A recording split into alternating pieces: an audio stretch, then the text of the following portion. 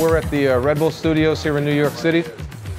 We're hosting a special edition of the uh, TC5 TMT graffiti battle that's going on. We have a uh, scale model IRT number four train. The proportions are identical to a New York City subway train, so it's 47 feet long by seven feet high. The way it's situated in the downstairs sub-basement area looks like it's in a layup.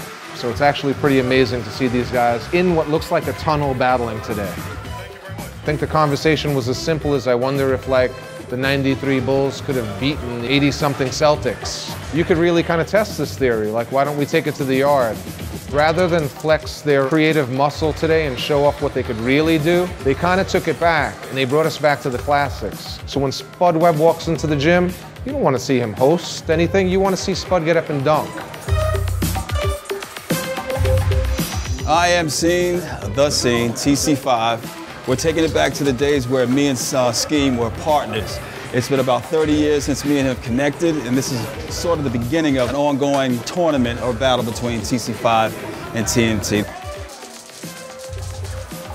Me and Skeme basically hooked up in the 80s. We first started basically just killing insides and then graduated to doing pieces together. Let me tell you, fella, this is on point. This, you got the feel not only because of the car, but where it's located. It gives you the feel of being in a layup.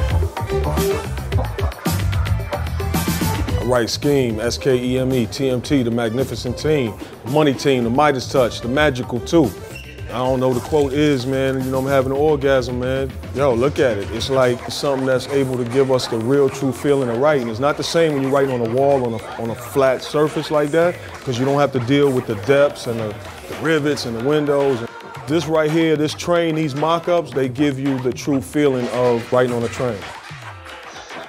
My characters always have been caricatures of myself. Basically, when you're 16 and 17, I think kind of like my mother said, we, we never think we're gonna die. You know, we used to all stand on the third rail, jump up and down on the third rail, feet within inches of the third rail, but none of that stuff bothered us. We got rival crews, getting raided, getting run over by a train, but that was just part of the business.